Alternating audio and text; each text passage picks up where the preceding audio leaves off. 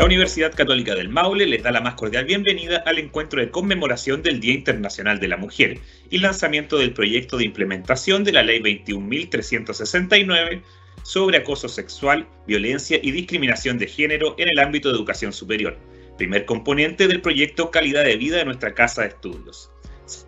Saludamos a las autoridades que hoy nos acompañan. Doctor Diego Duranjara, rector de la Universidad Católica del Maule. Doctora Mari Carmen Jarul Muñoz, vicerrectora académica. Doctora María Teresa Muñoz Quesada, vicerrectora de Investigación y Posgrado. Y doctor Pablo Ormazábal Saavedra, vicerrector de Administración y Finanzas. Directoras y directores, funcionarias y funcionarios, académicas y académicos, profesionales administrativos, estudiantes e invitados especiales. El Día Internacional de la Mujer fue proclamado por las Naciones Unidas en 1977. Sin embargo, se, comenzó a conmemorar a principios del siglo XX en varios países de Europa para apoyar los derechos laborales de las mujeres y la obtención del sufragio femenino.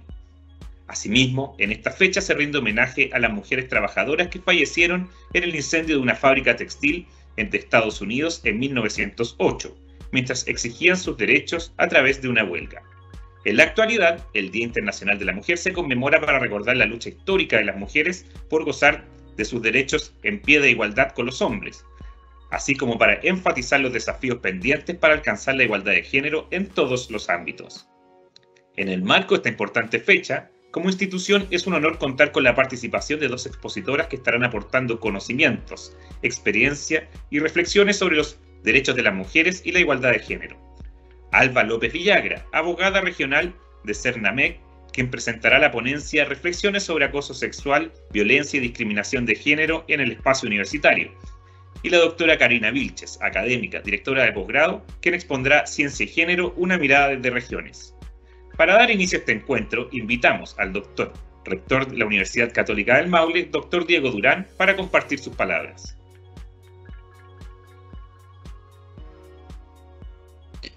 Hola, muy buenos días a todas y todos los que estén conectados. Eh, en este día particularmente importante quisiera darles un saludo especialmente a las mujeres de nuestra comunidad.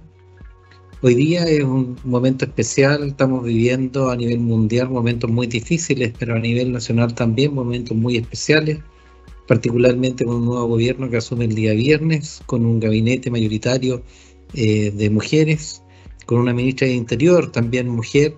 Eso es eh, un hecho histórico muy relevante en todo y por eso quisiera eh, de alguna manera eh, abrazar, saludar y felicitar a las mujeres también de nuestra comunidad por ello.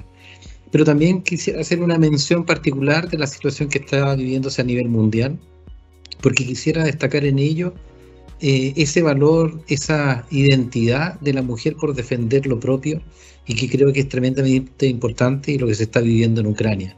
Hemos tenido imágenes particulares de cómo las mujeres han tomado eh, una fuerza particular en la defensa del territorio ucraniano, pero también cómo las mujeres en la propia Rusia se han dado, eh, han dado o han mostrado fuerza para poder decir que la guerra no es el camino. Por lo tanto, eh, tener presente que esa fuerza, que esa valentía, que ese coraje es parte y es un pilar fundamental de la construcción de cualquier organización y especialmente de la nuestra. Por eso el compromiso va a seguir siendo de nuestra institución el poder eh, respetar a la persona, no importa su condición, y que todos y cada una y cada uno pueda desarrollarse el máximo posible.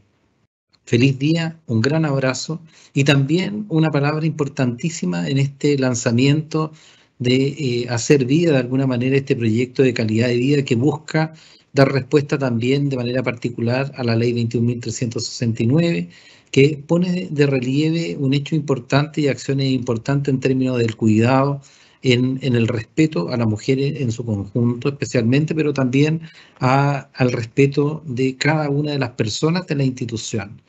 Esta es una ley que ha sido eh, ampliamente debatida en su momento, pero que hoy día entra en vigencia ya eh, plenamente en septiembre, cuando se exija la presencia de, eh, de estas unidades que van a venir precisamente en defensa y en protección del proceso que se pueda vivir al interior de las relaciones humanas de la propia institución. Por lo tanto, mucho agradecimiento por el esfuerzo que se está haciendo. También saludar al equipo que está detrás de este trabajo para que sea exitoso, pero también decirle a toda la comunidad que están eh, profundamente implicados en esto y que esperamos que su participación sea eh, cabal, que permita efectivamente construir algo en conjunto para que colectivamente posteriormente podamos celebrar la existencia de estos mecanismos y de esta protección en términos del cuidado de las personas. Un abrazo a cada uno y muy feliz días a, cada uno de a cada una de las mujeres que son parte de nuestra comunidad. Le agradecemos al rector por su mensaje. Para continuar con esta actividad, invitamos a entregar su saludo a la directora del proyecto de implementación de la Ley 21.369 sobre acoso sexual, violencia y discriminación de género en el ámbito de educación superior, María Paula Poblete. Buenos días a todos y todas las personas que nos acompañan en esta transmisión y en especial a las mujeres que forman parte de la comunidad educativa en este día de conmemoración del Día Internacional de la Mujer. El 8 de marzo eh, creemos que es una oportunidad para detenernos y para mirar, para mirar hacia atrás y ver los enormes avances que hemos conseguido con la lucha mancomunada de las mujeres y el, protagonismo que hemos adquirido en todos los espacios que fueron históricamente negados, en la política, en la academia, en el trabajo, en el ámbito educativo, por cierto. Pero también es una ocasión para detenernos y mirar dónde estamos, y eso nos, nos, permite ver aún que persisten enormes desigualdades. Solamente por dar algunos datos que permitan ilustrar esta realidad, es necesario decir que, por ejemplo, la pandemia ha producido un retroceso de 10 años en la participación laboral femenina de las mujeres de América Latina. Además, las mujeres dedican en promedio nueve horas más de, tiempo semanal al ejercicio de labores domésticas, nueve horas más que los hombres. Y además, otro dato que siempre nos debe impactar es que una de cada tres mujeres vive y ha vivido alguna forma de violencia física o sexual en el mundo. Entonces, esta realidad no hace más que comprobar la urgencia de que existan medidas desde el Estado principalmente para combatir todas estas desigualdades. En este sentido, las leyes cumplen un rol fundamental. Y en particular, y tal como lo señalaba el rector de nuestra institución, la ley 21.369 sobre acoso sexual, violencia y discriminación de género viene a cumplir un rol crucial para erradicar la violencia y la discriminación de género en el ámbito educativo. A través de esta ley, las universidades, las instituciones de educación superior, están obligadas a implementar políticas integrales en materia de violencia, acoso sexual y eh, discriminación de género y a la vez establecer unidades que permitirán implementar estas políticas eh, a nivel institucional. Por lo tanto, el día de hoy le damos punto de partida a la implementación de este proyecto en la Universidad Católica del Maule. Por lo tanto, en esta ocasión, en este día 8 de marzo, abrazamos este desafío institucional para poder mirar al futuro, entendiendo que los avances en igualdad de género permiten la construcción de una sociedad más justa para todos y todas de esta forma podremos detenernos y mirar hacia el futuro que realmente queremos como sociedad y como universidad. Muchas gracias.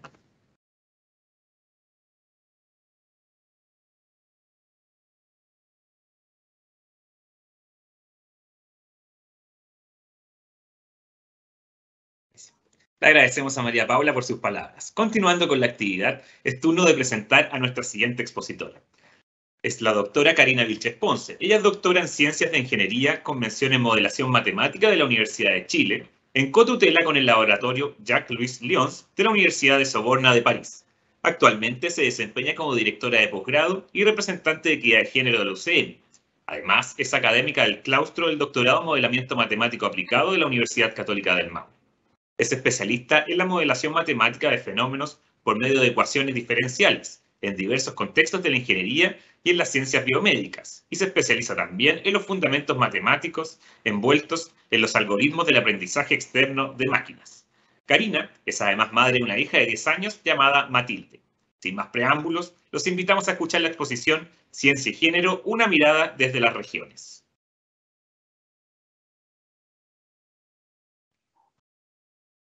Muy buenos días a todos y todas. En este importante día agradecida por la, invitación. Si alguien me confirma que se estaba compartiendo la pantalla.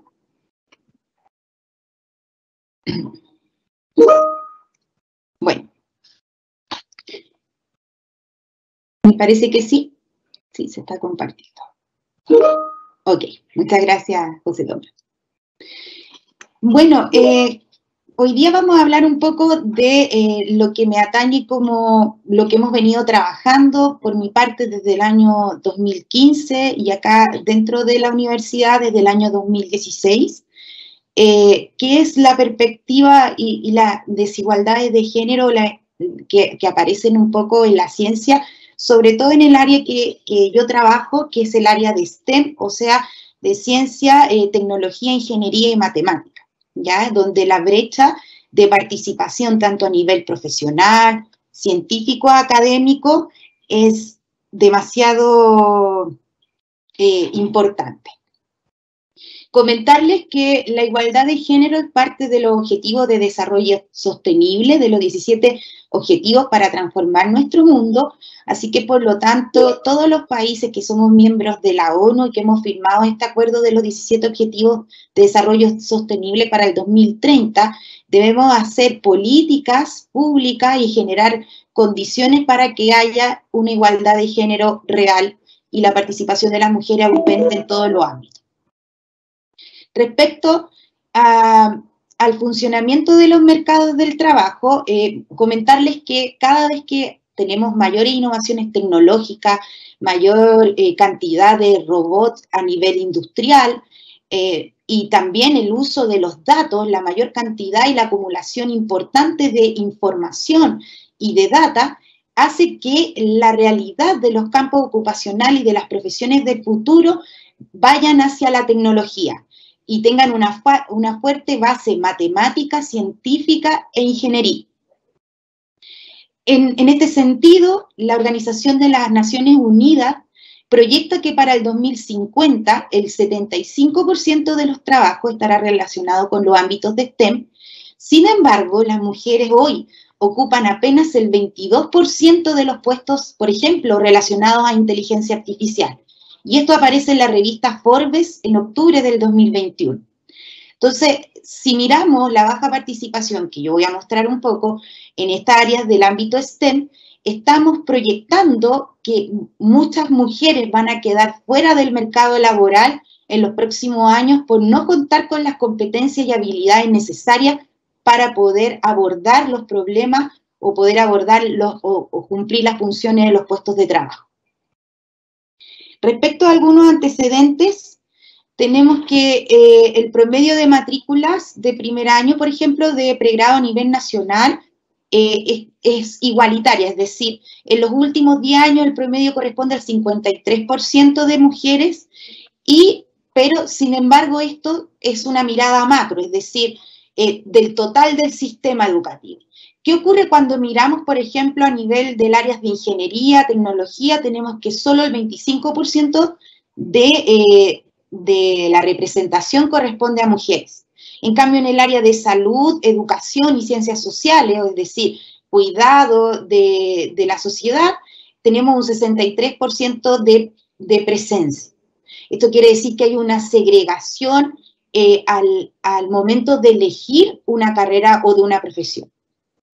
Eh, los roles de género en este sentido instalados a nivel cultural influyen en la decisión de las mujeres y de los hombres en la selección de las carreras y por eso hay una segregación por género, es decir, mujeres vamos a enfermería, vamos a pedagogía, en cambio los hombres van a ingeniería, medicina, etc. Respecto eh, en posgrado, eh, la brecha se mantiene hay una disminución progresiva de la participación de mujeres, considerando que en el área STEM, por ejemplo, en magíster representa el 29% y luego en el doctorado representan solo un 16%. Esto hace que haya una carencia de eh, académicas en el área, o sea, una baja cantidad de, de mujeres desempeñándose en el área de STEM, y además esto produce como una retroalimentación de la brecha porque al haber pocas académicas, cuando ingresa un grupo de mujeres a estas áreas de, del área de STEM, no, no, cuentan con roles ni con tutoras, por ejemplo, o con mujeres con quien identificarse para poder continuar con esta carrera. Si vamos a los datos ya más concretos, tenemos que, por ejemplo, eh, si vemos la proporción de mujeres en matrícula de primer año por área OCDE, vemos que eh, en el año ha ido incrementando o aumentando la participación, pero sigue siendo baja. ¿ya? Eh, si ustedes ven, por ejemplo, en el área de educación, la, matrícula alcanza casi un 85%, en el área de servicios un 75%, en el área de eh, ciencias sociales y enseñanza, por ejemplo, también alcanza un 55%. Y así va disminuyendo. Y donde se acentúa más la brecha en el área de ciencias, ingeniería, industria y construcción.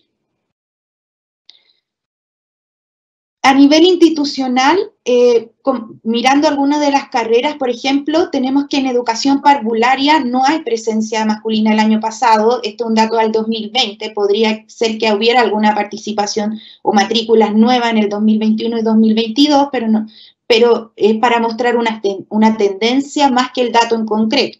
Lo mismo estaría ocurriendo en nutrición y dietética, por ejemplo, y en ingeniería civil la participación también es baja de mujeres. Entonces ustedes ven que hay una segregación en la participación.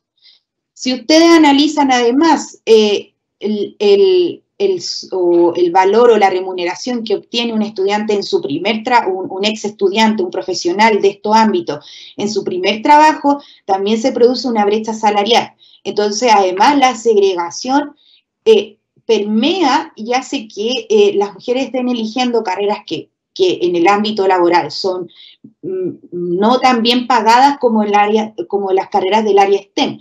Por lo tanto, se permea esta segregación en la universidad, permea a la cultural, a lo social y mantiene estas brechas de eh, remuneración entre hombres y mujeres, dado las carreras que escoge.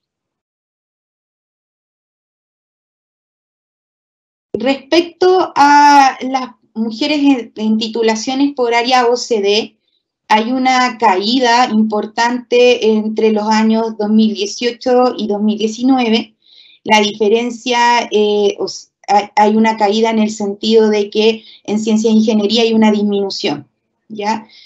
Eh, hay un aumento de las mujeres en el área de educación, por ejemplo, de un 10%, sin embargo, eh, disminuye en área de ciencias e ingeniería. Entonces, a pesar de, las medidas afirmativas que se han estado aplicando, uno ve que no ha habido un efecto positivo en la graduación ni en las matrículas.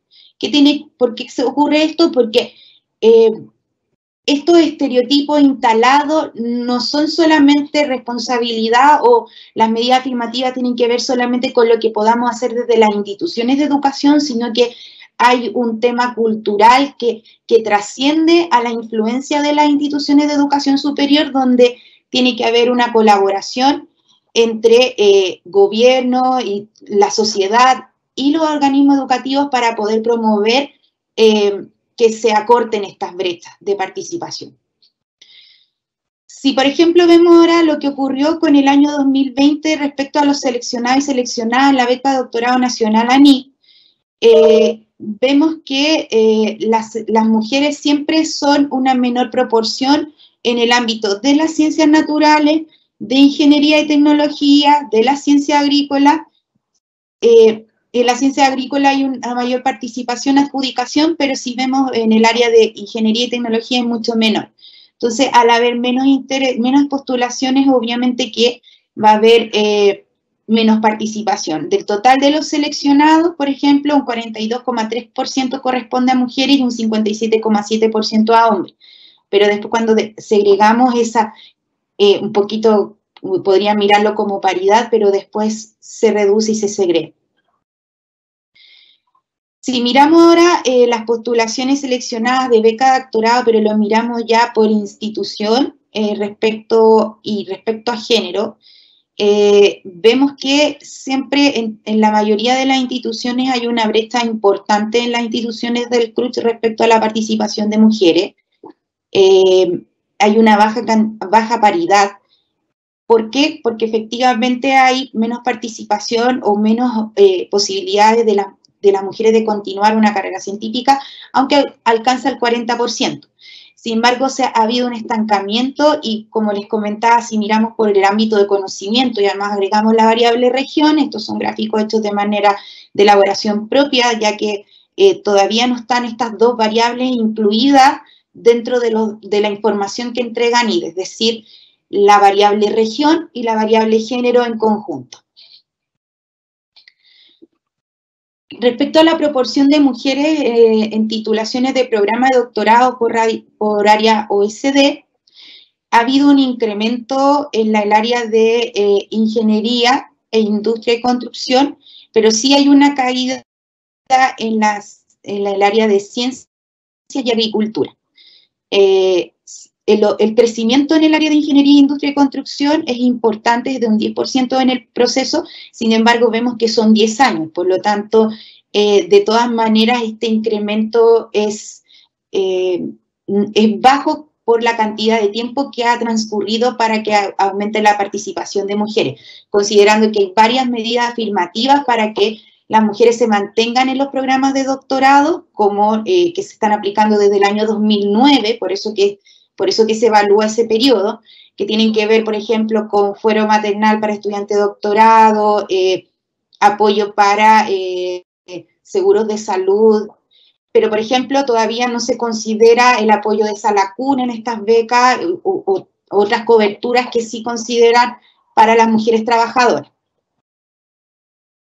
Respecto a lo que ocurre con los proyectos y participación femenina entre el periodo 2010 y 2019 en los programas ANIT, tenemos que un 42% de las postulaciones admisibles corresponden a mujeres, eh, luego se adjudica un, solo un 30% a mujeres y en el área de ingeniería esta adjudicación aún baja más, que corresponde a un 23% en matemática, es aún más dramática la adjudicación de los últimos años, mujeres, y en FIA, por ejemplo, en agronomía en el año 2019 no hubo adjudicado. En el área matemática, pues sí que donde conozco, en, el año pasado, eh, o en, el, en Fondesit de iniciación 2022, solo adjudicó una mujer de 16 proyectos en total. Eh, uno puede observar cómo las brechas de género se van acentuando cuando se evalúa por áreas del área STEM. Eh, están presentes en todos los ámbitos, pero van aumentando a medida que la carrera académica o investigativa o científica de, mujeres va avanzando. Eh, y, hay una fuga en este sentido de capital humano avanzado en mujeres que finalmente no continúan la trayectoria académica.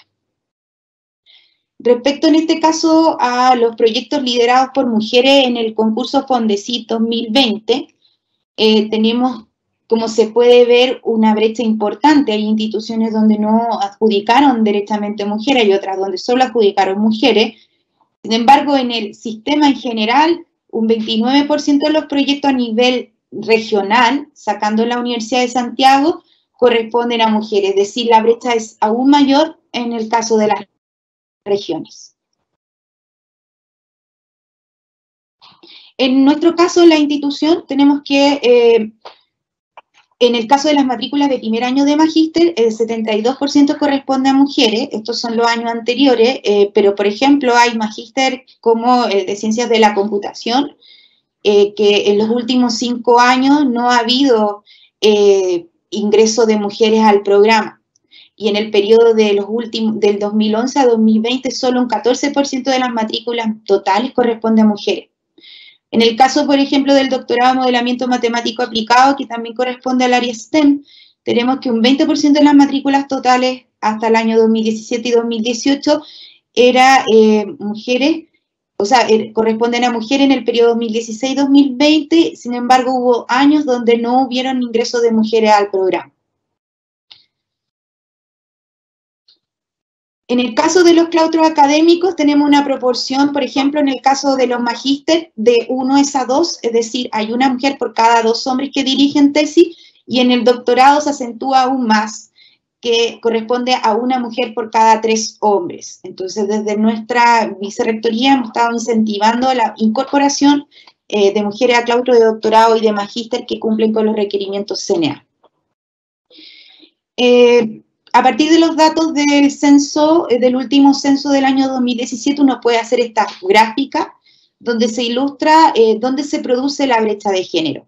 Tenemos que los porcentajes varían poquito, por ejemplo, habíamos hablado un 53%, pero en general en la escuela y en la formación profesional hay paridad, es decir, hay igualdad de participación y de presencia en total del sistema, obviamente sin considerar esta segregación, pero cuando ya empezamos a pasar a, eh, a la carrera académica, es decir, hacemos un, magíster, un doctorado y después entramos a la, a la academia o a la titularidad, esta, esta brecha se acentúa aún más en el sistema.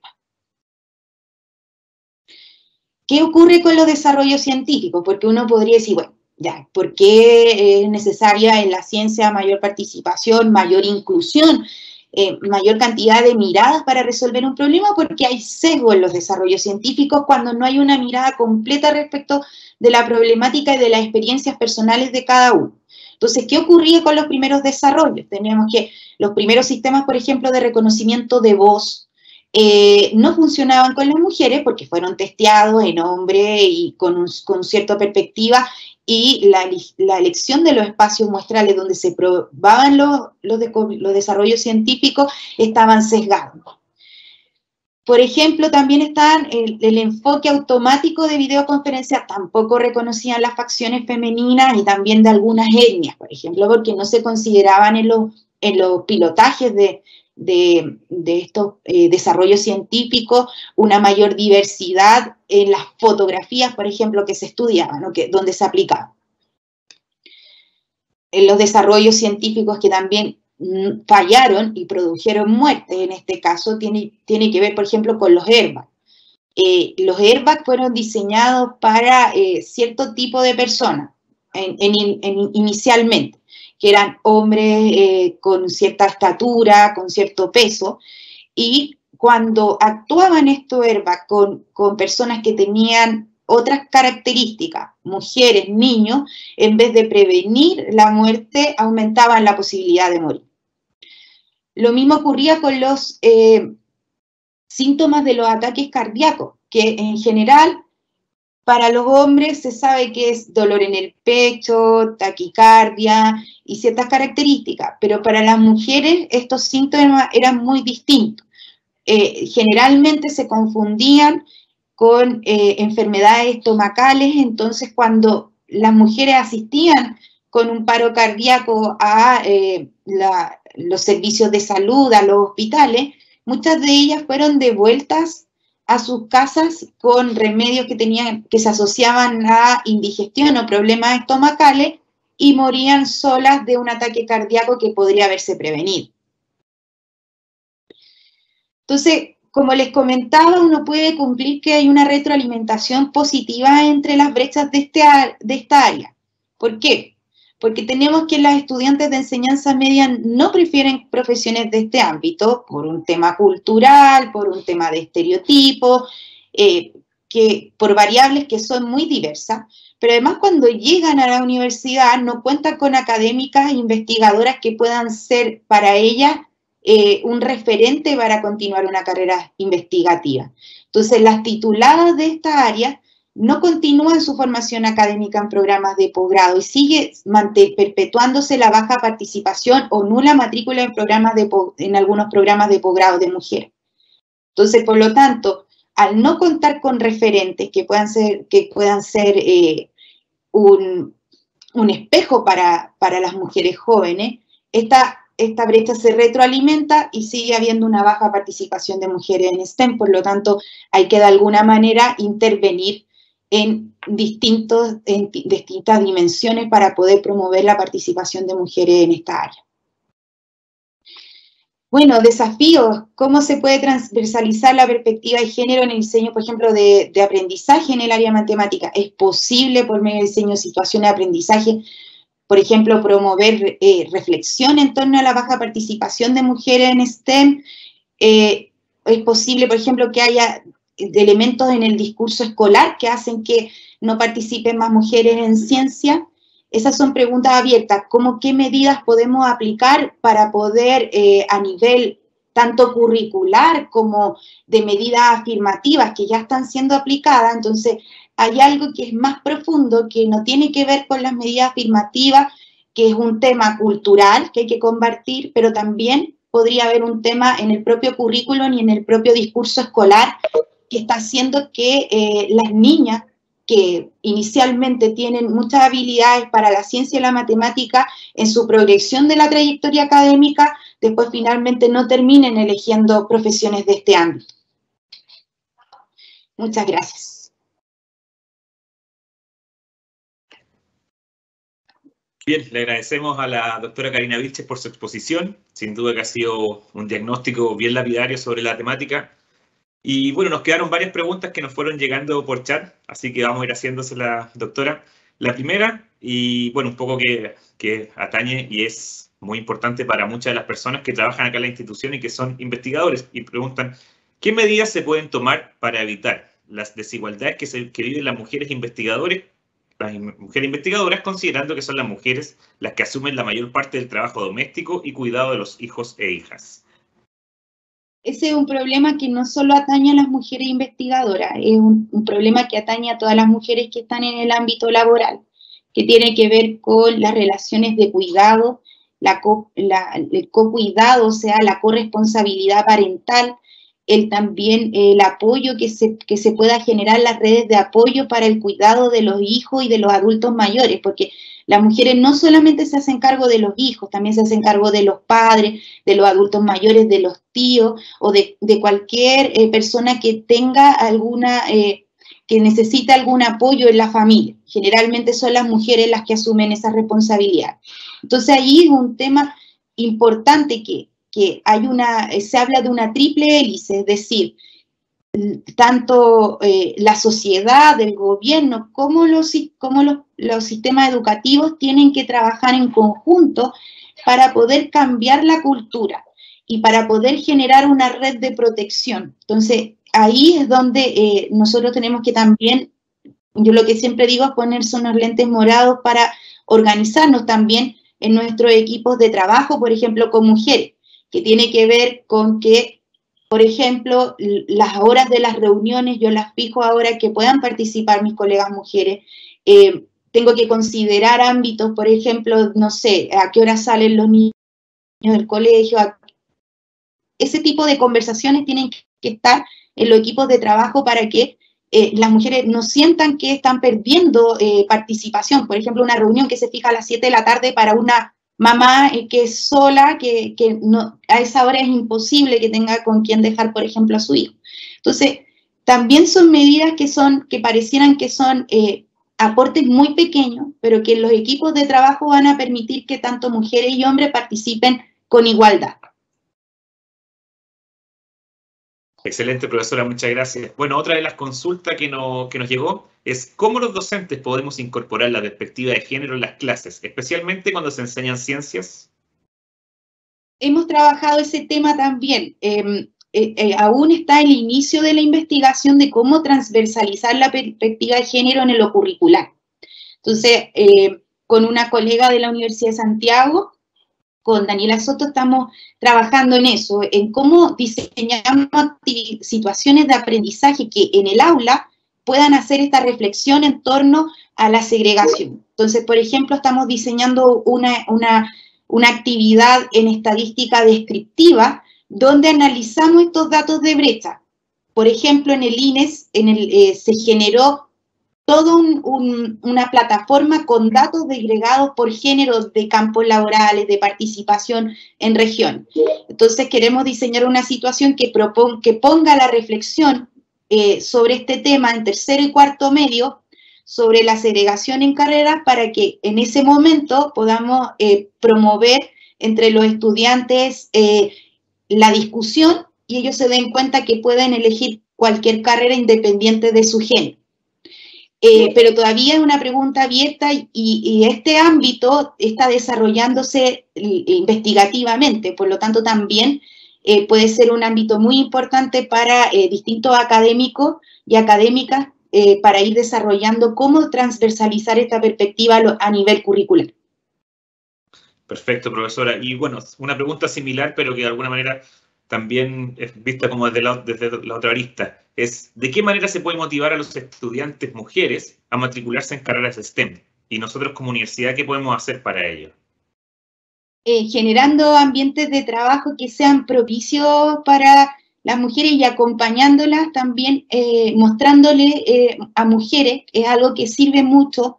En, en, mi caso, la experiencia personal, por ejemplo, para atraer a mujeres que se matriculen en los programas de doctorado en el área, ha sido ir prácticamente a conversar con ellas, ir a congresos, eh, también mostrar que aprovechar que si hay académicas, eh, que estas académicas acompañen o sea eh, un, espejo para las estudiantes y que se puedan proyectar en este sentido.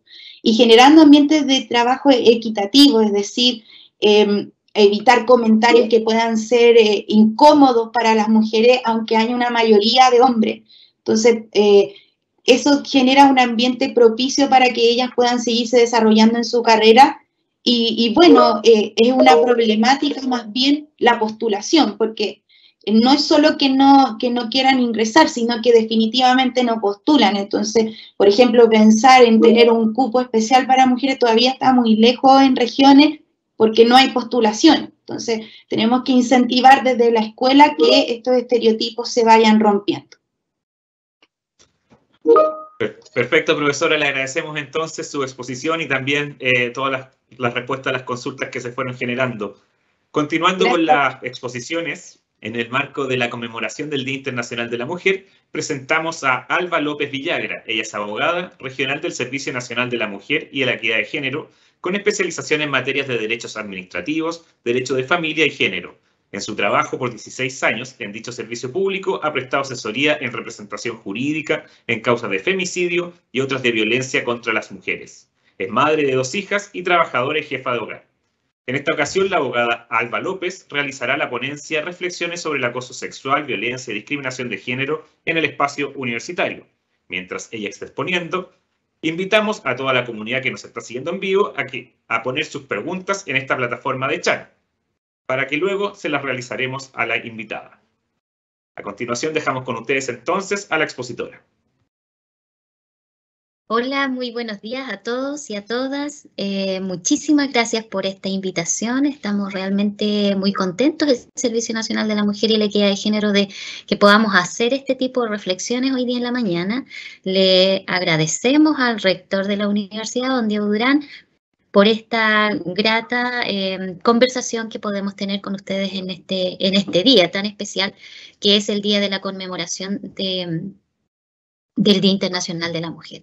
Creemos que realmente es, una, eh, es, un hito importante eh, el que ustedes hoy día tengan la oportunidad de hacer esta, esta, estas reflexiones y estas conversaciones y para nosotros claramente un honor poder ayudarlos y acompañarlos. Así es que eh, profundamente agradecida y extenderles también a todos los presentes un muy cordial saludo y a las mujeres presentes que tengan hoy día claramente un día que puedan conmemorar y que puedan eh, sentir, digamos, las felicitaciones de toda la lucha de las mujeres y también las, las propias.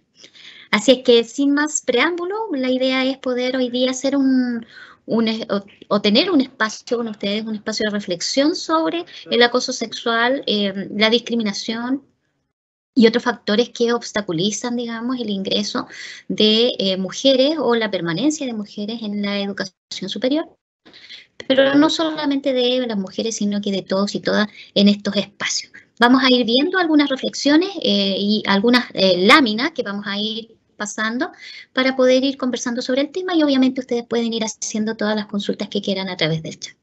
Eh, vamos a ir avanzando entonces y eh, como primera em, eh, reflexión vamos a ver cuál es el rol del contexto educativo dentro de nuestro entorno. Y todos entendemos que la educación es parte de los instrumentos de socialización de todas las personas, ¿cierto?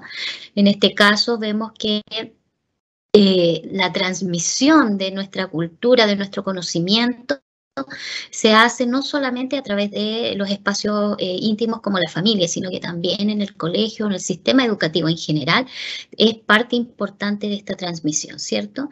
Entendemos que se adquieren hábitos sociales, normas, valores, creencias, en fin, a través de estos, eh, estas etapas de socialización y el contexto educativo, creemos, y a mi juicio también comparto, eh, tal como los estudios lo van señalando, que es uno de los más importantes porque allí se transmiten y se refuerzan claramente nuestras, eh, nuestra cultura y nuestra transmisión respecto de nuestras construcciones sociales. Y en esta construcción social respecto de lo masculino y lo femenino es particularmente la transmisión de género que nosotros en esta sociedad vamos haciendo, ¿cierto?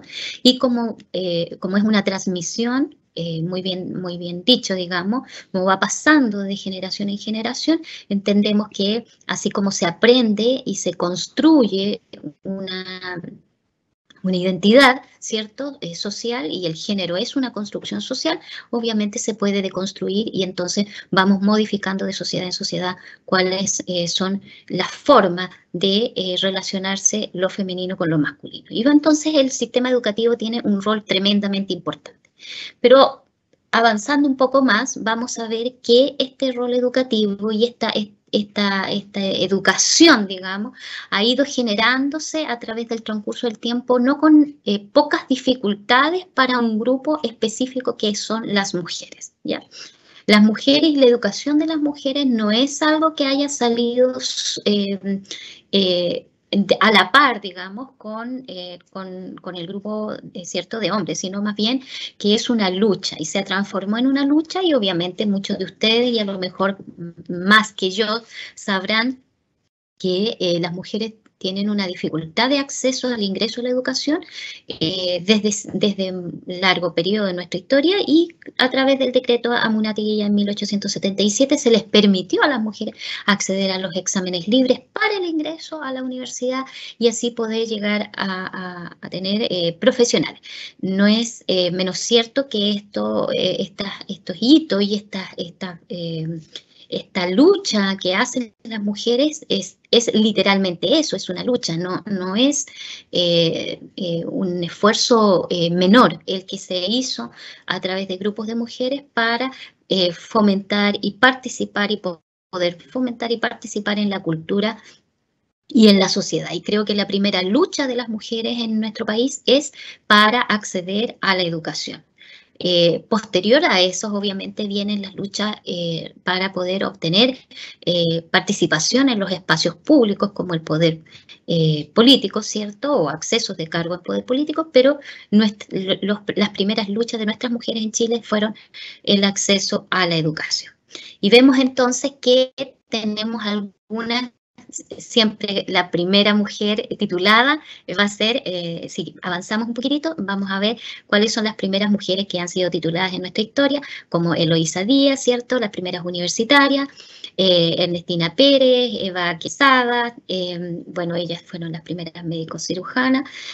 tenemos, entre otras, las que están mencionadas en la presentación, pero claramente estas primeras pioneras son las que ingresan eh, con, no menos dificultades que, a lo mejor, bueno, claramente hemos avanzado, pero si ustedes se fijan, hay bastantes brechas que todavía debemos soslayar para poder em, entender eh, cómo las mujeres eh, ingresan a la educación superior, cómo las mujeres ingresan al sistema educativo y también cómo este sistema educativo trata y hace un esfuerzo por ir eh, bajando esas barreras, por ir eliminando estos obstáculos y así permitir que este acceso sea un acceso libre, igualitario, ¿cierto? Y con plena dignidad en sus derechos.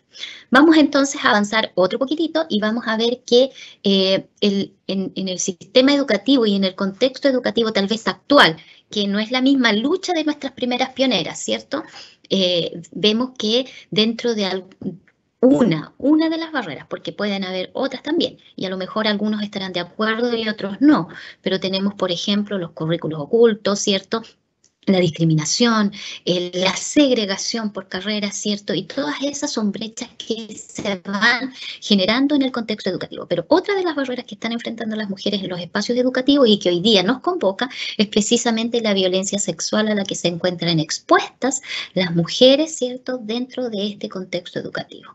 Y no hace tantos años, y esto ya es bastante más reciente, ¿cierto? Que, que, la primera lucha de nuestra Eloísa Díaz, eh, tenemos que eh, vamos, vamos a ir viendo cómo las universidades y los espacios universitarios se van haciendo cargo de esto, cómo Chile también se va haciendo cargo de la violencia sexual en todos los espacios o la violencia en contra de la mujer en todos los espacios en los que una mujer va eh, actuando dentro de la sociedad, ¿ya? tanto en el ámbito laboral, en el ámbito educativo, en el ámbito social cultural, ¿cierto? Y nos vamos haciendo cargo poco a poco en Chile respecto de la violencia en contra de la mujer como una manifestación eh, de discriminación hacia sus derechos, ¿cierto?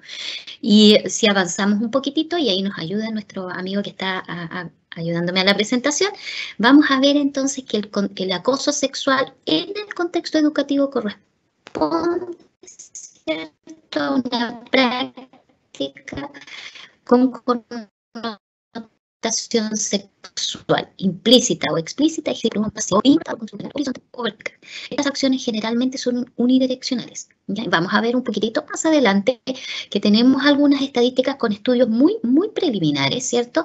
Que nos van a ayudar a entender que estas prácticas, si bien es cierto, se dan en un contexto de eh, espacio educativo, también afecta prioritariamente a mujeres y por eso la unidireccionalidad de este tipo de eh, conducta, ¿ya? El acoso sexual tenemos aquí algunas manifestaciones, puede que no sean todas y puede que con el transcurso del tiempo vamos viendo otras ¿cierto? Agregándose a este tipo de conducta, pero por ejemplo el acoso no, eh, el acoso no verbal, ¿ya? Se entiende como miradas, sonidos, silbidos que van incomodando, ¿cierto? En este contexto que debe ser un contexto más bien amplio, igualitario, ¿cierto? Libre de violencia el acoso verbal, como los comentarios sobre el cuerpo de la, de la otra, la ropa, cómo se ve la persona, el acoso físico, que ya claramente eh, es bastante, si bien es cierto, todo es bastante grave, estas son manifestaciones bastante eh, visibles, como las tocaciones en parte privada, los genitales, seno, trasero, ¿cierto? Que son como lo, lo, tan, tan común que si hoy día nosotros sentáramos al grupo de mujeres que tenemos presente, a lo mejor todas podrían levantar la mano la consulta a quien no le han, no la han, eh, eh, le han dado un agarrón, por ejemplo, que es, el, eh, es una conducta muy violenta hacia las mujeres y que claramente está tan naturalizada en la sociedad que no nos damos cuenta que esas conductas no pueden, tienen que ser socialmente reprochadas. ¿ya? obviamente tenemos otro tipo de manifestaciones mucho más expuestas como el exhibicionismo, la, la masturbación pública, ¿cierto? Algunos acosos, eh, algunas situaciones de acoso en registros audiovisuales, como las tomas de fotografía, las grabaciones de las partes privadas, de, en, espacios públicos incluso, ¿cierto? O el acoso mediante chantaje, que es aquel que dice relación con el ofrecimiento de beneficios, ¿ya? Eh, a cambio de un favor sexual. Aquí en el ámbito educacional podemos ver a lo mejor que hay alguna... Eh, situación compleja que haya vivido alguna, y desearíamos que no, pero claramente estamos hablando de esta situación porque se da, que es precisamente el ofrecimiento de eh, favor, el, el, pasar, digamos, está en juego la carrera de la persona, ¿cierto? Que está siendo eh, violentada y acosada y por supuesto el chantaje allí es bastante eh, severo o puede ser bastante perjudicial para la persona que lo recibe. Y en ese contexto, si ustedes se fijan, estas prácticas de acoso sexual que no necesariamente son las únicas que pudieran haber más, pero que como, eh, eh, digamos, como anotación podemos dar algunos ejemplos, claramente se pueden dar en este espacio eh, que es un espacio abierto, que tiene un, nexo no necesariamente laboral, porque obviamente pueden estar afectados hombres y mujeres dentro del contexto universitario, sea funcionario, funcionaria, ¿cierto? Académicos o académicas, pero también lo, el estudiantado. ¿Ya? Entonces, todas estas manifestaciones son claramente una manifestación que va en contra de la dignidad de toda persona. Y si avanzamos un poquitito más, nos vamos a dar cuenta de que estas situaciones de acoso eh, y que vamos a, pedirle aquí a nuestro presentador que, podamos ir avanzando, también en honor al tiempo debemos ir eh, mejorando y que vamos, vamos a, compartir con ustedes estas pequeñas cifras. Y digo pequeñas porque en estricto rigor están sacadas del Observatorio de Acoso Callejero que eh, se Trabajo en el año 2020, no tan, eh, no tan antigua, digamos, son bastante recientes y no hay tantos estudios al respecto, pero sí podemos dar algunas estadísticas, como por ejemplo que el 41,4% de las mujeres han sufrido acoso sexual en el contexto educativo, lo cual no es menor, es una estadística bastante em, lapidaria, si se quiere, si se quiere em, decir, porque en el fondo uno esperaría que en estos espacios no ocurriera, pero lo cierto es que hay. ¿ya? El 26,4% de los hombres ha sufrido acoso sexual en el contexto educativo. Por lo tanto, ahí vemos la unidireccionalidad de la violencia, que finalmente igual volvemos como un poco al punto que es cómo las mujeres se ven prioritariamente afectadas en estos espacios respecto de este tipo de conductas de acoso sexual. ¿ya? Eh, también un 65,4% sufrió acoso por parte de otros estudiantes y otros y 22,8% por parte de profesores, ¿ya? en este caso académicos o académicas.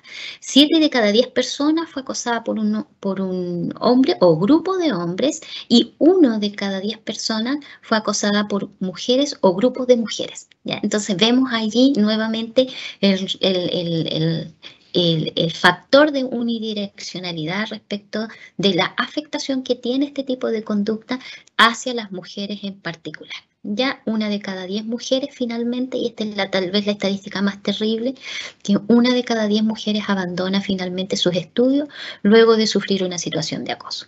Tenemos aquí en Chile eh, aún está el debe en, mucho, en muchas... Em, en muchas eh, normativas, o está el debe la normativa en general, más bien dicho, eh, para la protección o brindar una protección integral hacia las mujeres. Eh, Chile ha hecho avances significativos, pero todos pormenorizados en el sentido de que hemos trabajado la violencia en contra de la mujer en el contexto eh, de familia, hemos trabajado la violencia en contra de la mujer en el contexto laboral, hemos estado trabajando la violencia en contra de la mujer en el contexto del acoso sexual callejero, ahora estamos, se está incursionando, ¿cierto?, en el acoso sexual respecto de los espacios universitarios, pero finalmente, si ustedes se dan cuenta, no tenemos todavía una normativa que incorpore la protección generalizada de la mujer en cualquier tipo de espacio. Ya tenemos que ir diferenciando los espacios para poder brindarle eh, algún apoyo y algún,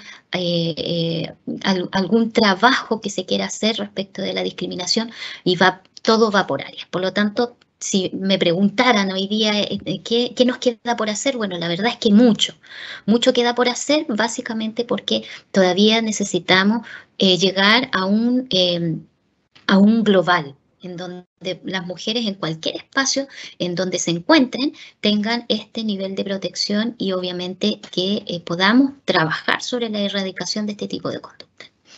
Vamos a avanzar entonces y vamos a ir directamente a hablar entonces sobre cómo se ha ido trabajando en este espacio educativo en particular eh, este fenómeno que es la situación de acoso sexual eh, dentro del contexto eh, universitario o educacional.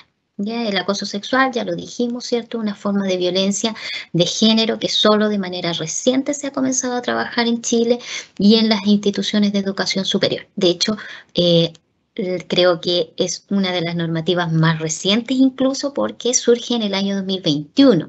Y es por eso que celebramos que las universidades quieran hacer este, este, este ejercicio de trabajar sobre la prevención, la erradicación, la atención de las víctimas que sufren violencia, eh, violencia en el contexto, violencia sexual en el contexto educativo. ¿ya?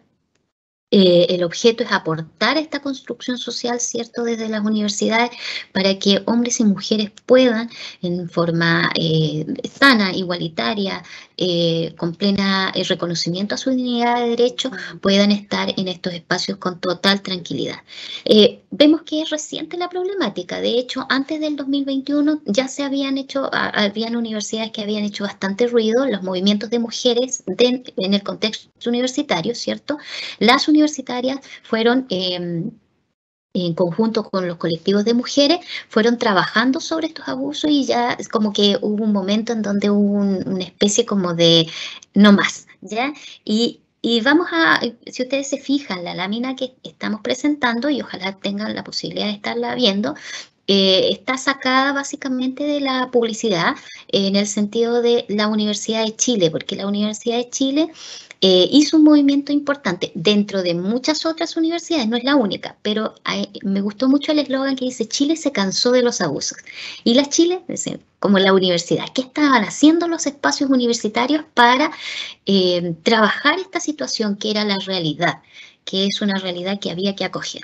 Y vamos entonces a ver que eh, si bien es cierto, Chile está trabajando y estaba trabajando sobre los acuerdos tanto nacionales como internacionales, eh, finalmente, a través de la propuesta de ciertas eh, legisladora, eh, surge una ley eh, que permite, digamos, y que les va a permitir a ustedes trabajar esta situación de acoso sexual en el espacio educativo de mejor manera y obviamente con un fin último que es mejorar la vida de los, de los y las estudiantados y los y las profesionales y, y claramente todo el espacio universitario en conjunto. Entonces vamos a ver que si me permite avanzar nuestro presentador, vamos a ver que finalmente el acoso sexual como manifestación de violencia y como expresión de violencia, entonces eh, debe ser trabajada porque impacta. Ya impacta, determina, discrimina, ¿cierto? Y genera un profundo, profundo daño hacia las víctimas, ¿ya? Eh, en las últimas décadas, todas las, investigaciones y legislaciones referidas al hostigamiento sexual han mostrado que han habido avances, pero el principal avance, a lo menos en Chile, hasta el 2021, como ya les mencioné, eh, solo se trabajaba en el contexto laboral. ¿ya? Y si bien es cierto, se visibilizó toda la gravedad y la ocurrencia de estos hechos, lo cierto es que en la educación superior no se trabajaba sino hasta el 2021 eh, que surge la ley, se trabajaba solo también en, el mismo contexto, en el orden laboral. ¿Ya? Por lo tanto, necesitamos abrir más espacios porque la violencia estaba instalada y se necesita eh, el, desarraigo, ¿cierto? Así es que vamos a, eh, en Chile vamos a ver que empiezan a surgir eh, voces de alarma y empieza también a surgir un movimiento interesante que termina con esta ley eh, que nos permite hoy día con las universidades ir trabajando la erradicación de este tipo de violencia. Entonces, finalmente, lo que tenemos es, un segundito, vamos a avanzar un poquitito vamos a ver entonces que cómo la normativa, tanto nacional o internacional, nos van dando las, em, las directrices que nos permiten ir trabajando de mejor manera el acoso sexual, tanto en espacios laborales, no, o no solo en espacios laborales, sino más bien también en otro tipo de espacios. Vamos a avanzar y vamos a ver cuáles son las normativas. Esto lo vamos a, trabajar muy rapidito. Tenemos aquí un marco normativo tanto nacional como internacional. Respecto del nacional, perdón, del internacional, tenemos claramente eh, la Declaración de Derechos Humanos, luego la CEDAW, que es nuestra Carta Madre, ¿cierto? La Convención de Belén do Pará, que han sido ratificadas por Chile y que trabajan la violencia en, contra de la mujer como un todo y que nos permiten tener este marco normativo internacional que nos dicen eh, que como tratados internacionales eh, la mujer tiene el derecho a vivir una, libre, una vida libre de violencia, ¿ya?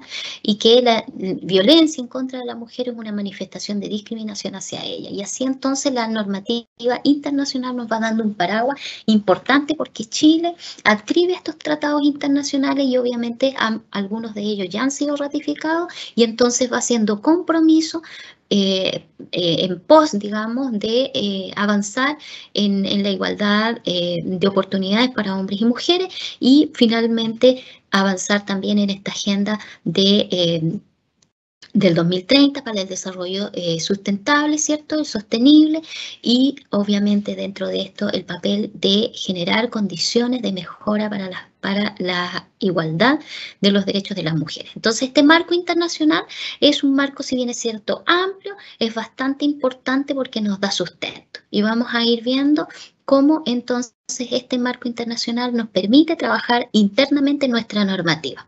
Avancemos. Eh, mi querido amigo Diego.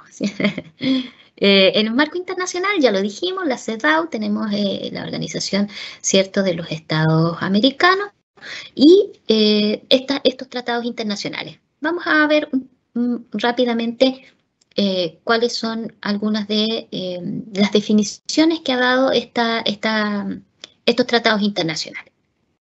Avancemos, por favor. Bien, la Convención sobre la Eliminación de todas las formas de discriminación contra la mujer nos, eh, indicó que si bien es cierto, no menciona explícitamente la violencia contra las mujeres, obliga ya a los estados partes a proteger cierto a la mujer de contra cualquier tipo de violencia que se produzca tanto en la familia, en el trabajo o en cualquier ámbito de la sociedad al reconocer la violencia como un acto de discriminación. Y eso es súper importante porque finalmente se reconoce entonces la violencia como un acto discriminativo. Vamos a ver entonces cómo lo definen las otras eh, normativas internacionales. Tenemos entonces la Convención de Belén do Pará del año 94 que define la violencia contra la mujer como cualquier acción o conducta basada en su género que cause muerte, daño, sufrimiento físico, sexual o psicológico a la mujer, tanto en el ámbito público como en el ámbito privado. Y aquí entonces la violencia en contra de las mujeres vemos que es una manifestación de las relaciones de, abusivas de poder, ¿cierto? Estas relaciones históricas de desigualdad entre hombres y mujeres, ¿ya?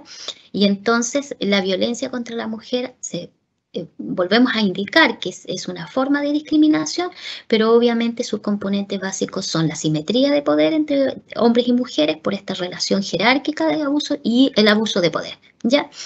Entonces tenemos estos como factores clave que nos permiten ir trabajando la violencia en contra de la mujer como un todo, como un paraguas generalizado, en donde no solamente podemos circunscribir a la violencia o la discriminación de la mujer en el contexto de la familia, sino que también en todos los espacios en donde ésta se desarrolla. Avancemos.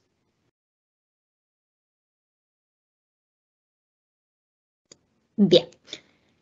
Eh, Finalmente, en el consenso de Montevideo eh, sobre población y desarrollo en el 2013, eh, que obviamente está suscrito por el Estado de Chile, se indicó la necesidad de establecer los mecanismos de prevención, presentación de quejas, sanciones a las prácticas de hostigamiento y acoso sexual y laboral, así como otras formas de asedio y violencia contra las mujeres y los hombres, especialmente en el espacio laboral y educativo.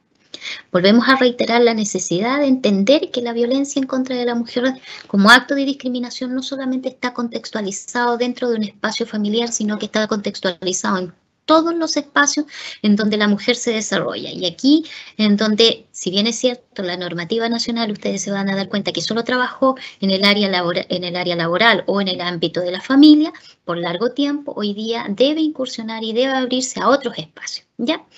Vamos a avanzar para ver la normativa nacional muy rapidito para que podamos luego pasar a, nuestra eh, discusión. Bien, en el ámbito nacional tenemos la ley 20.005 que eh, tipifica y sanciona el acoso sexual en el ámbito laboral y si bien es cierto, también eso se trabajó porque es una modificación al Código del Trabajo, también se trabajó en el ámbito eh, de los estatutos administrativos y los estatutos, los estatutos especiales para las eh, instituciones públicas o semi públicas, digamos.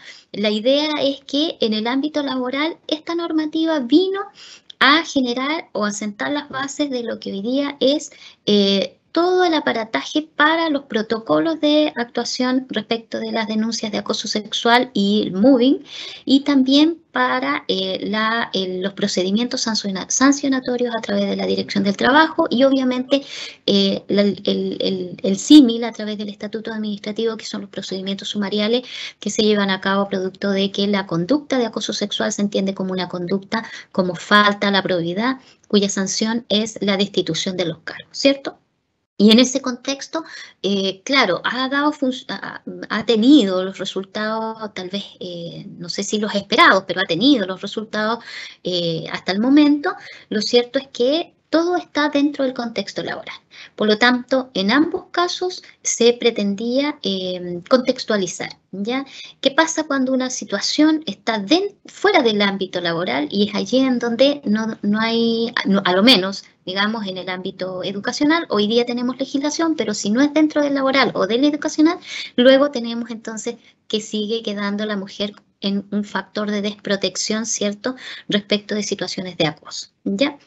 Em, y como les mencionaba, ahora a partir del 2021 eh, hay una ley que eh, obliga, digamos, y que trabaja eh, o direcciona hacia las universidades la idea de que ellos también trabajen el acoso sexual dentro de los ámbitos educacionales. ¿ya? Entonces, si ustedes se fijan, la normativa nacional no es tanta, y tal vez debería haber mucho más y el aparataje debería ser mucho más amplio, pero lo cierto es que se ha trabajado eh, solamente en algunas áreas. ¿Ya?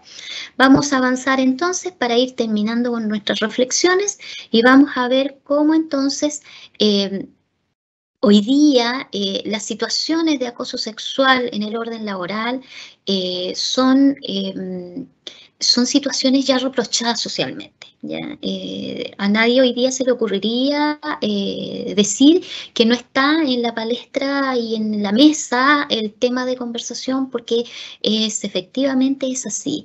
Las conductas de maltrato y de eh, violencia en contra de la mujer hoy día son un reproche social importante y por lo tanto la legislación debe ir de la mano para brindar la protección adecuada, la persecución adecuada a estas situaciones de violencia en contra de la mujer. Por lo tanto, no es extraño ver que hoy día ya se vaya conociendo mucho más. Las denuncias están em, eh, aumentando también porque entendemos que al principio esto siempre va a generar eh, eh, o tienen el fenómeno de generar humillación, vergüenza hacia la víctima y por lo tanto se reprime el ejercicio de denuncia. Pero hoy día ya hay más apertura, hay más sororidad, para apoyar a las mujeres eh, eh, que están sufriendo estos flagelos y por cierto, eh, hoy día estamos conociendo con mayor frecuencia denuncias sobre acoso sexual en el ámbito laboral o en cualquier otro espacio y por lo tanto ya hoy día es un poco más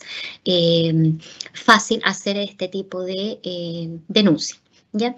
fácil entre comillas, fácil en el sentido que hoy día es reprochado socialmente, pero claramente para la víctima nunca va a ser fácil. Vamos a ver entonces cómo vamos a, eh, a, llegar al contexto educativo básicamente a través de la ley 21.369 es muy nueva, muy, muy, muy nueva para legislaciones que son, que nosotros trabajamos, que ya se trabaja con jurisprudencia, ¿cierto? Con análisis.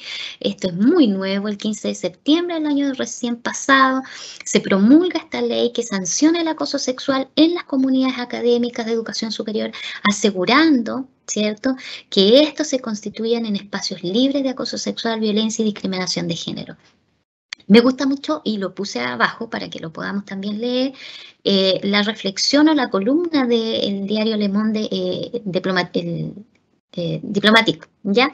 que refirió respecto de esta ley lo siguiente, dice, esta ley ha sido largamente esperada por generaciones de mujeres que han transitado por las instituciones de educación superior experimentando ya sea por acción u omisión el abuso, la discriminación y la violencia de género. Todo esto acompañado de silencios cómplices, ¿cierto? Lo anterior se ha, se ha ido visibilizando en las últimas décadas, siendo el 2018 un punto de inflexión, pues se desata el tsunami feminista, ya donde las mujeres estudiantes de diversas casas de estudios alzan la voz y se genera una inecta movilización a nivel nacional para denunciar diversas vulneraciones que experimentaban por parte de sus profesores y sus compañeros que atentaban en contra de su dignidad en los planos físicos, intelectuales y psicológicos. Me gusta mucho esta columna cuando se refiere a la este movimiento de mujeres, ¿cierto? Este movimiento de, jóvenes estudiantes eh, que estaban dentro de los planteles académicos que dijeron basta, necesitamos que se visualice esta realidad y luego a través de este movimiento más las iniciativas legislativas surge esta legislación que hoy día nos permite o que hoy día más bien les permite a las casas de estudio trabajar sobre esta problemática, que eh, que la verdad, la verdad, eh, son problemáticas que existen en todos los espacios en donde las mujeres se desarrollan, eh, que hemos invisibilizado a través del tiempo y que hemos naturalizado conductas de violencia en todos los espacios en donde las mujeres podemos estar. Y por lo tanto necesitamos, y a la ausencia, digamos, de una legislación que pueda proteger el conjunto de violencias, y discriminaciones que pueda sufrir una mujer en cualquier tipo de espacio, obviamente la iniciativa de generar espacios educativos libres de violencia, libres de acoso sexual, son muy bienvenidas. Por lo tanto, esta ley, la 21.369, viene a hacer un aporte significativo a, eh, a las mujeres que van a ser a las generaciones de mujeres que van a hacer el ingreso a las universidades en algún momento, ni claramente un aporte significativo desde el decreto Amunatigui que le permite a las mujeres el ingreso a las universidades hasta hoy día 2021, 2022, que Claramente las casas de estudio quieren hacer este trabajo, la Universidad Católica está iniciando este trabajo, esta es una iniciativa interesante, importante, en la cual se puede hacer un gran aporte al bienestar y al futuro de nuestras eh, generaciones eh, de mujeres científicas, eh, profesionales, en nuestras futuras Eloísas Díaz, ¿cierto? queremos invitarlos a ustedes a que puedan reflexionar sobre lo que significa eh, un espacio libre de violencia en cualquier aspecto para la mujer, un espacio libre de discriminación de género y, por cierto, eh, como el reproche social hoy día debe ser no solamente un reproche social em, em, de discurso o, lo políticamente correcto, sino más bien cómo concretamos aquella, eh, aquella libertad en derechos que necesitan las mujeres en, eh, en en, políticas claras, en, cómo, en, acciones específicas y cómo finalmente en, el, en, la menudencia, ¿cierto?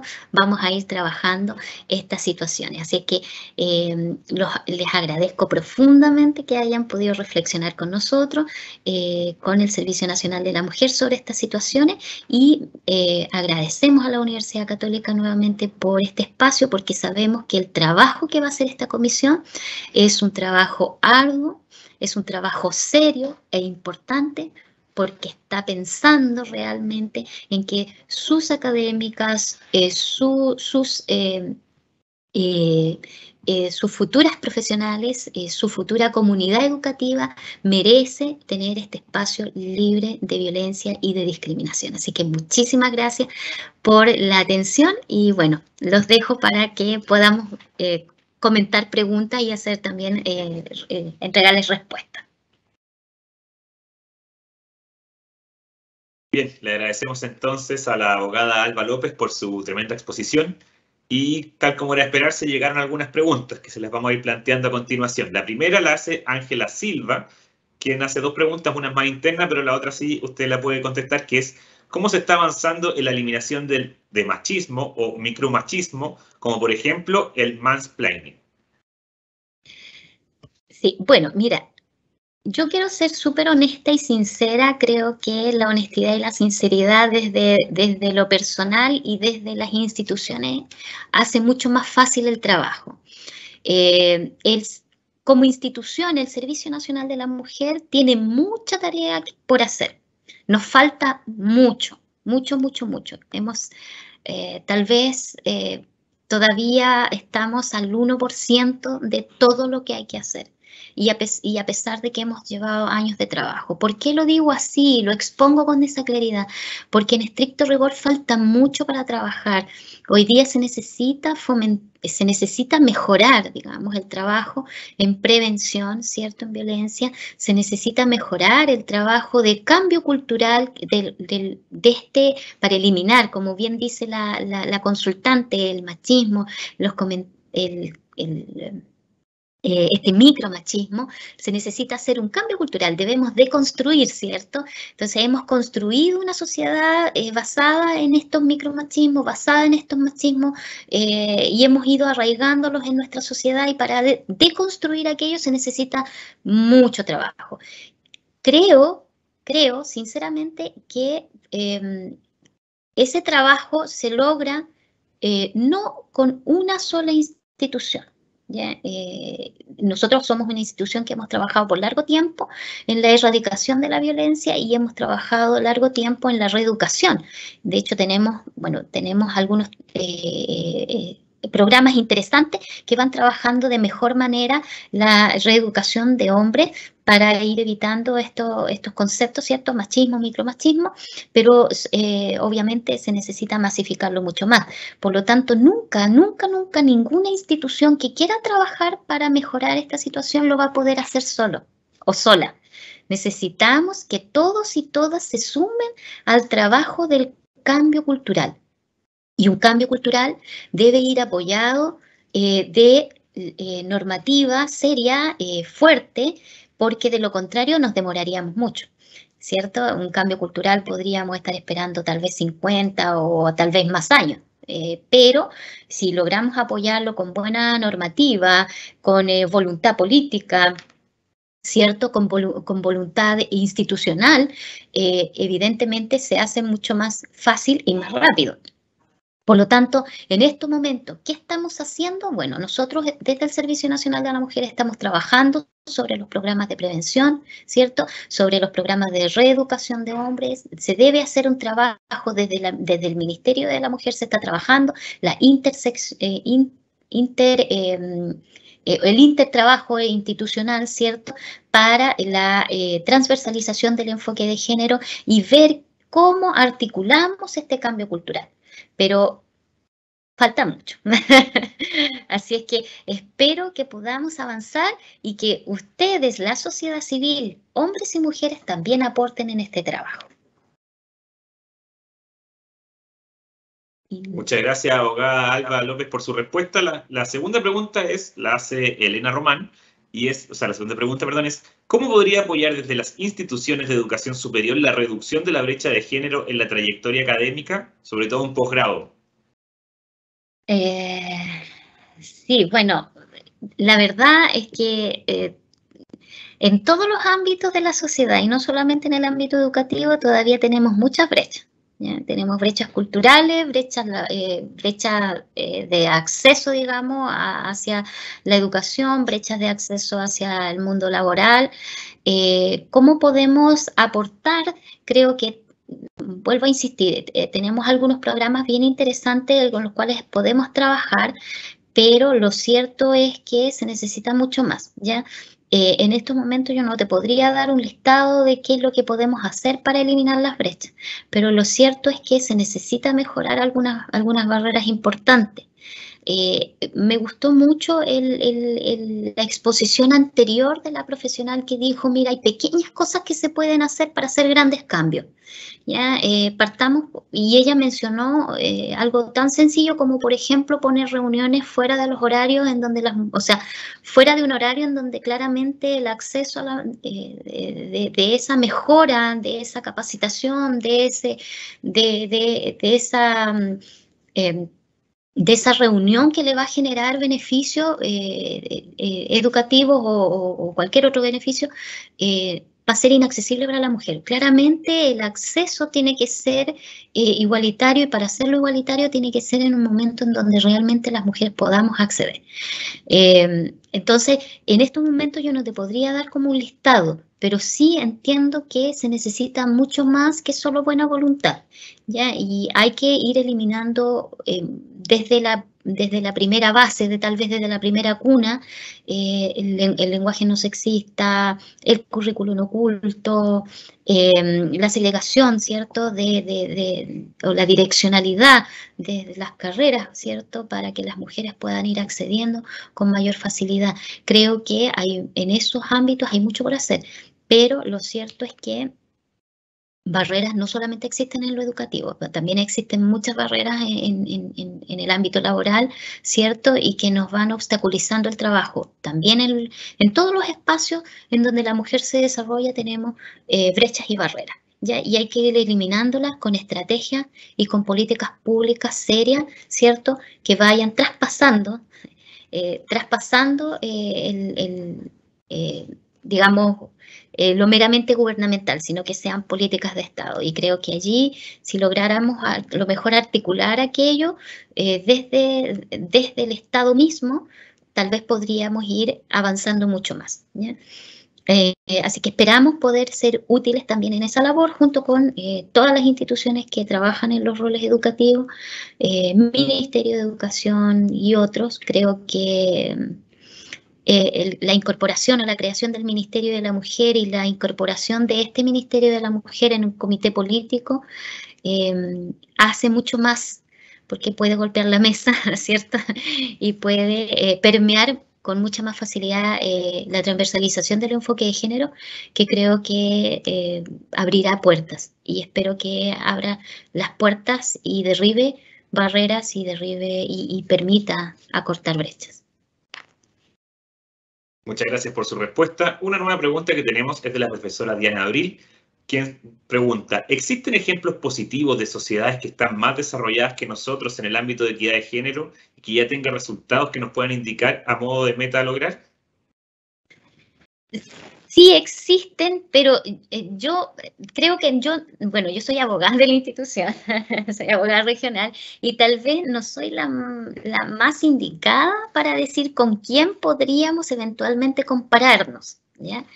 Eh, básicamente porque eh, eh, claro, en el contexto latinoamericano tal vez nosotros podríamos decir si sí, hemos avanzado, estamos bien, tenemos institucionalidad, una institucionalidad fuerte, ¿cierto? Eh, y esta institucionalidad debería avanzar, eh, es, nueva, pero debería ir avanzando con paso firme y agigantado. así es que tal vez podríamos compararnos con otras, con otras experiencias internacionales, pero curiosamente, eh, a veces tenemos la tendencia a pensar que hay sociedades muy desarrolladas económicamente, ¿cierto? Eh, que eh, tienen un gran avance o un avance significativo en la igualdad de género. Y, la verdad es que no, no necesariamente, porque vemos que, por ejemplo, tal vez eh, puedo estar un poco equivocada, pero eh, algunas experiencias internacionales en las que tuvimos oportunidad de compartir con una compañera de trabajo que hizo una pasantía en Japón, ella comentaba que había muchas sociedades que estaban muy desarrolladas económicamente, tal vez como, como China o como el mismo Japón, por ejemplo, pero que finalmente no tienen eh, eh, esta, esta mejora o esta mejora no permea la igualdad eh, de género como uno esperaría, Entonces ellos miran, digamos, por ejemplo, la experiencia este, o en su oportunidad y, y en este pequeño, pequeño ejemplo, miraban la experiencia laboral del pre y postnatal, por ejemplo, como una iniciativa interesante.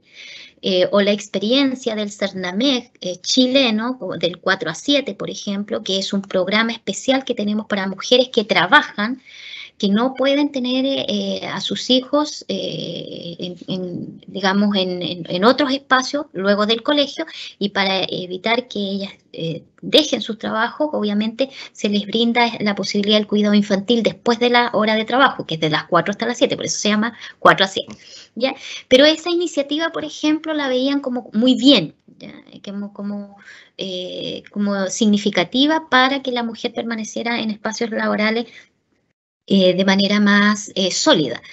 pero eh, es difícil hacer una comparación porque lo cierto es que al hacer el comparativo podemos también darnos cuenta de que como el, género es una construcción social, también es cierto que esta construcción social va cambiando de cultura en cultura. Entonces, claramente en, China, que tiene una gran economía, eh, las mujeres no tienen eh, eh, la misma participación en esa economía que los hombres y ahí a lo mejor vemos la diferencia.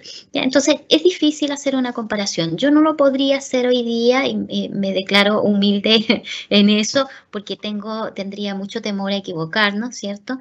Pero sí creo que Chile... ha avanzado hacia una dirección correcta sin perjuicio de que esta dirección que hemos tomado hoy día no ha sido única y exclusivamente un trabajo institucional de Estado, sino más bien el permanente, la permanente lucha de mujeres. Por lo tanto, el camino a seguir está en manos de eh, las mismas mujeres que somos quienes eh, tenemos que luchar por nuestros derechos. Muchas gracias, abogada Alba López. Y abusando de su buena disposición, le vamos a hacer la última pregunta, que la hace Felipe Orellana, quien se pregunta, ¿cómo fomentar que no existan más paneles de hombres en conversatorios y charlas que se dictan dentro de la universidad? Eh, es buena su pregunta, don Felipe. bueno, em, la, eh, la, legislación que ustedes van a trabajar eh, a partir de, o que están trabajando a partir del 2021, del 15 de septiembre del 2021, eh, que les permite, digamos, eh, evitar el, acoso sexual dentro del contexto educativo, también debería motivarlos a trabajar la paridad, ¿cierto? Eh, y, ir de alguna manera mejorando la situación de la mujer respecto de los cargos directivos. Tenemos hay, alguna, hay algunas frases eh, dentro de los estudios que nos explican eh, algunos de estos fenómenos, que, que, es el techo de cristal, ¿cierto? En donde las mujeres eh, tienen eh, ciertas dificultades para ingresar a los grandes eh, ciertos directorios. hay muy poca participación de mujeres en directorio, en, en, tomas de decisiones de importancia, ¿cierto? Y, y hay otra frase que, que, se acuña en estos estudios que se denomina el suelo pegajoso de la mujer, que en el fondo tenemos gran cantidad de mujeres en, en, el estudiantado, en, los, en los grupos sociales, pero finalmente el acceso de ellas hacia eh, otros espacios en donde se puedan tomar decisiones importantes o espacios de poder están más segregadas. Entonces, ¿cómo se puede hacer? Creo que eh, no solo la, no, mm, deberíamos evitar que la ley nos obligue a todo, pero eh, y hacerlo voluntariamente. Creo que el, permitir la paridad en los cargos de poder, eh, hacer que los cargos, que las mujeres tengan el acceso a la postulación a esto de manera igualitaria, eh, son cambios significativos. Ya deberíamos ir mejorando en estos aspectos, eh, no solo con la legislación que van a trabajar ahora, que va a trabajar solo acoso sexual en el ámbito laboral, pero claramente debería mejorar el entorno ¿cierto? Y en ese sentido también permitir que las mujeres tengan acceso a estos cargos de alta dirección, ¿ya? Eh, por ahí escuché en algún momento un comentario que me pareció muy simpático, lo voy a comentar con ustedes, eh, que eh, en algún momento, en algunas reuniones por ahí, un personero muy importante dijo, no es que a las mujeres no les interesa participar. Lo cierto es que sí, las mujeres sí les interesa mucho participar, pero la carrera es desigual. Eh, nosotros, para esta carrera es como el 100 metros plano, pero la nuestra está llena de obstáculos.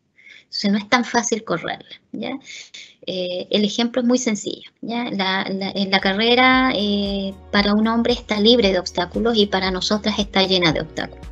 Y esos obstáculos hay que ir derribándolos poco a poco y no se derriban si no es con voluntad, con legislación, con esfuerzo, con políticas, con trabajo, eh, y obviamente con, eh, con la, con la, con la mira en que necesitamos cambiar. No es, una, mm, no es un capricho, necesitamos cambiar, porque nuestra sociedad está compuesta eh, por hombres y mujeres. Y, y necesitamos que esos espacios sean igualitarios para tener el mismo derecho al acceso y que esta carrera sea justa para todos y todas. Bien, agradecemos entonces las exposiciones y la participación de todas las personas que se pudieron sumar a este encuentro. Reiteramos la invitación a participar activamente en el proyecto de implementación de la Ley 21.369. Por su atención, gracias y que tengan todos ustedes un excelente día.